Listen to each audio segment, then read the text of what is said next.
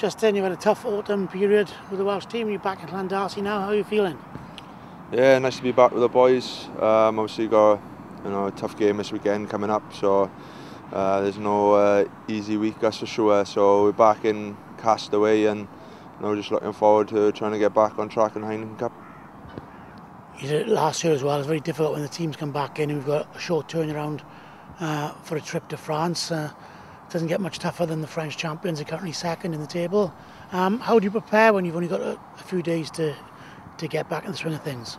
Um, obviously, just got to you know make sure we go through our roles and whether it takes walking or you know just jogging through them. Um, you know we got to take our time knowing our roles and you know just make sure you do it do a lot of homework off the field as well then and getting all the calls right and then hopefully uh, when it comes to the game Friday night you're ready to go. does it help in terms of the intensity of a game against someone like Cass is going to be the nearest thing you can get to international rugby?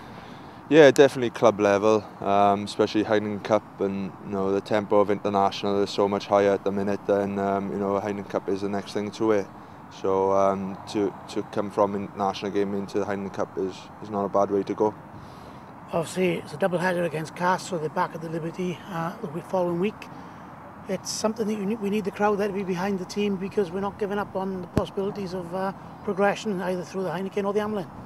Yeah, definitely, and you know it's obviously massive when you have a crowd there, but you know hopefully we can try and get them uh, playing a bit better rugby to get them there as well, and you know if we can get a decent enough uh, result in Castres, then hopefully we can get them out there, and you know hopefully they can come and support us and cheer us on, which will make us play better.